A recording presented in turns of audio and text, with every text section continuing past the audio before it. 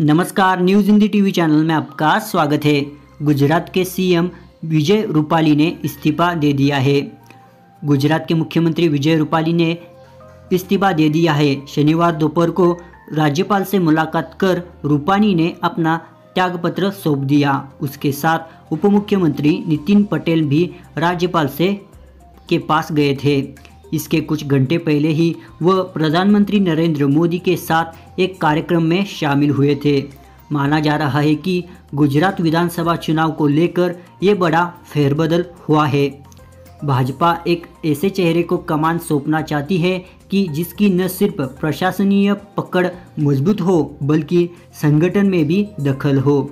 इस्तीफा देने में, देने के मुख्यमंत्री रूपानी ने पीएम नरेंद्र मोदी को धन्यवाद दिया।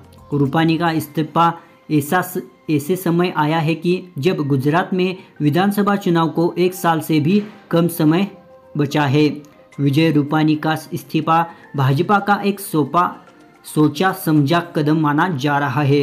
विजय रूपानी ने मुख्यमंत्री के पद से इस्तीफा देने के बाद कहा है कि मैं बीजेपी के प्रति अपना आभार प्रकट करता हूँ। मेरे जैसे पार्टी के कार्यकर्ताओं को मुख्यमंत्री जैसे पद की ज़िम्मेदारी दी। मेरे कार्यालय के दौरान प्रधानमंत्री मोदी का विशेष मार्गदर्शन मिलता रहा।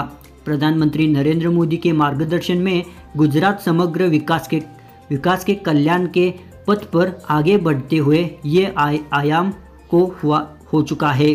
गुजरात में अगले साल होने वाले विधानसभा चुनाव को लेकर विजय रूपानी ने इस्तीफा दिया है। माना जा रहा है कि नए लीडरशिप में बीजेपी चुनाव लड़ेगी।